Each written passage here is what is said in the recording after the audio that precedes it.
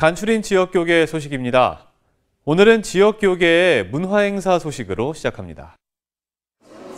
대구 기독미술선교협회가 제31회 대구 기독미술선교협회전을 열고 작품 30점을 공개했습니다.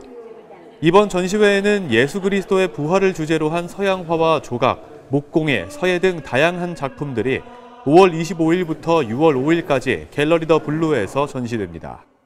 30명의 회원이 참석했으며 어, 하나님께서 영광 돌리는 의미로 저희들이 하고 있습니다. 판매금은 저희들이 선교 목적으로 사용을 하려고 하고 있습니다.